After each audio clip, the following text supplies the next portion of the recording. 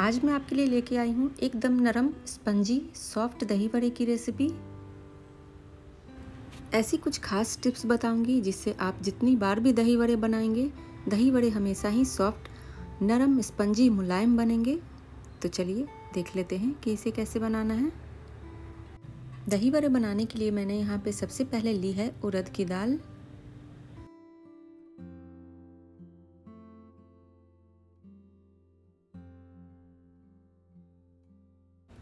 तो दो कप मैंने उड़द की दाल ली है। अब इसे हम तीन से चार पानी से अच्छे से धो लेंगे।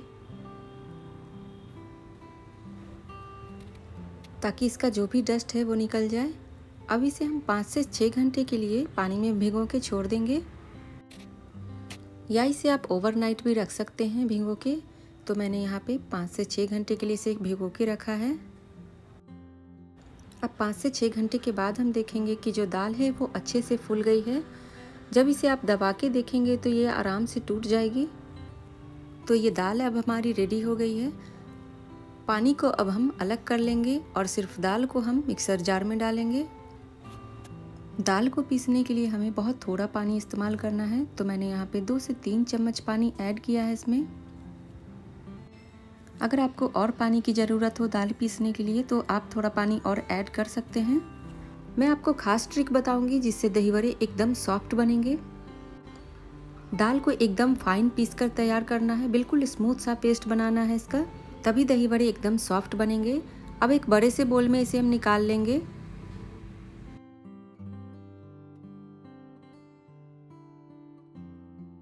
अब दाल में हम कुछ चीज़ें ऐड करेंगे। तो मैंने एक इंच अदरक लिया है, इसे घिस लिया है मैंने। पाँच से छः हरी मिर्च ली है। बैटर में नमक बिल्कुल भी ऐड नहीं करना है। अब दाल को हम फेंट लेंगे एक ही डायरेक्शन में। आप इसे बहुत अच्छे से फेंटें, तभी दही बड़े एकदम सॉफ्ट नरम बनेंगे। अब इसे चेक करने के लिए हम एक बोल में पानी लेंगे। और थोड़ा सा बैटर हम यहाँ पे डाल के देखेंगे कि अगर ये पानी से ऊपर आ गया तो हमारा बैटर बिल्कुल तैयार है। अब कढ़ाई में तेल डालेंगे। अब तेल गर्म हो गया है तो हम गैस की फ्लेम को लो कर देंगे यहाँ पे। अब एक बार में जितने बड़े आए, आप इसे कढ़ाई में डाल दें।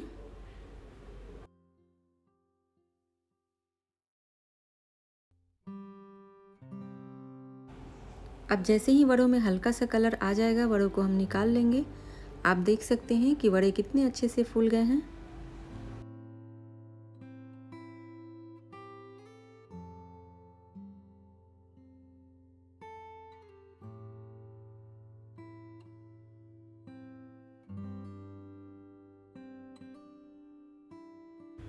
अब हम सारे वड़ों को तल के निकाल लेंगे।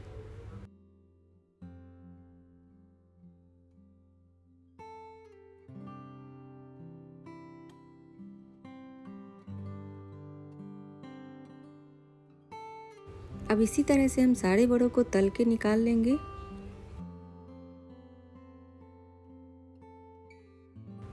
अब इन सब बड़ों को हम पानी में सोख करेंगे।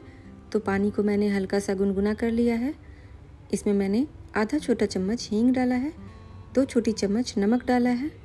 मिला लेंगे इसे अच्छे से।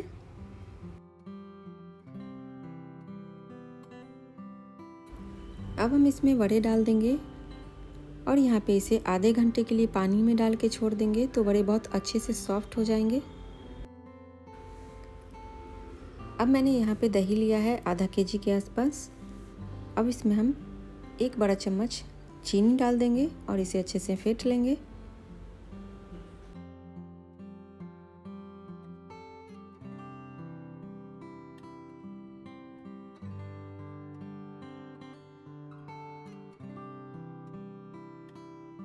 अब 30 मिनट हो चुका है यहाँ पे बड़े को फूलते हुए तो अब हम इसे हल्के हाथों से दबाते हुए पानी निकाल लेंगे इसका।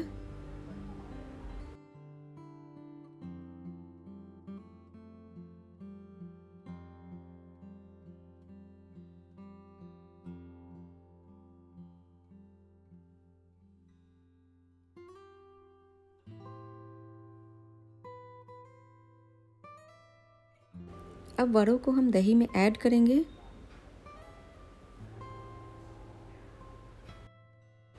जब आपको दही बड़े खाने हों, तभी आप इसमें वड़ों को ऐड करें, उसके बाद इसे हम सर्व करेंगे तुरंत ही। दही में डालने के बाद वड़ों को रखना है। अब हम इसे प्लेट में सर्व करेंगे। तो मैं दिखाती हूँ कि इसे कैसे सर्व करना है।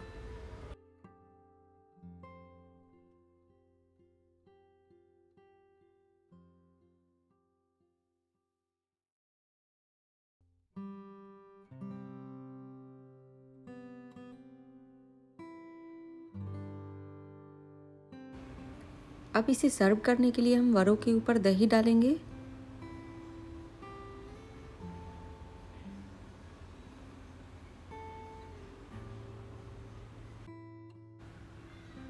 इसमें इमली की चटनी डालेंगे या इसकी जगह पे आप टमाटो केचप भी डाल सकते हैं।